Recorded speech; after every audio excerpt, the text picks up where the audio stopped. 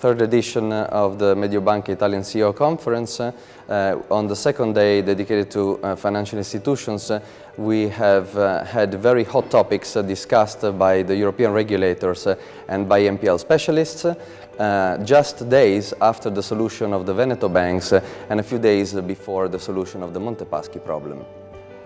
Uh, the European regulator has given a very constructive message to the fixing uh, of uh, the pending problems across the different markets uh, and uh, has also unveiled a plan by the European Commission to uh, tackle the NPL problem without excluding the potential implementation of a pan-European bad bank.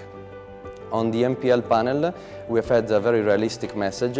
sadly, things are proceeding at a slow pace to improve uh, and uh, adjust the market failures that are currently ongoing in Italy.